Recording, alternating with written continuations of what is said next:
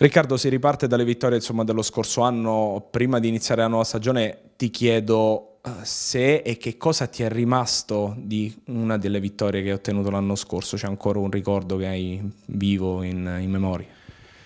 Ma penso che la, quella che ricordo di più sia senz'altro la prima, nonostante fosse la meno importante delle quattro che ho vinto, però perché era proprio erano tre anni che, che cercavo la vittoria, cercavo la vittoria e poi diciamo che dal, dal 22 aprile dell'anno scorso la cercavo ancora di più perché ci tenevo a dedicarla a un amico e quindi diciamo che quella è stata proprio una liberazione, tant'è che dopo l'arrivo mi sono anche commosso.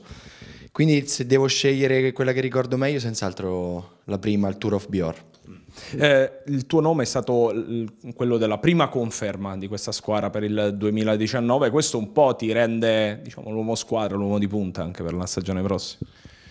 Ma eh, con Stefano sono tutti leader, diciamo, che non c'è un leader disegnato e lui piace far eh, tutti leader e poi diciamo che chi merita di più gode, godrà dei, dei ruoli di capitano durante, durante la, la gara.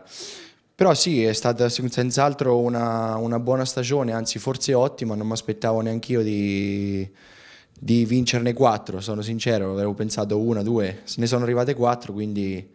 Però questo non toglie che il prossimo anno cercherò di fare ancora meglio. Le quattro vittorie rappresentano più uh, un, rappresentano un peso, perché poi la stagione prossima eh, ovviamente quattro è l'obiettivo minimo.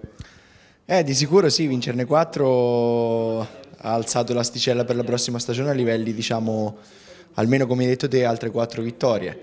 E sto lavorando bene, sto facendo un buon inverno per cercare di partire subito forte e di, diciamo, cogliere al meglio tutte le occasioni che si presenteranno. Ti chiedo un impatto anche con i nuovi, eh, c'è Sterbini, c'è Kobayashi che tu conosci, eh, c'è Onesti, insomma com'è, com questo nuovo gruppo? Sì, sono tutti ragazzi che chi più chi meno conosco. conosco.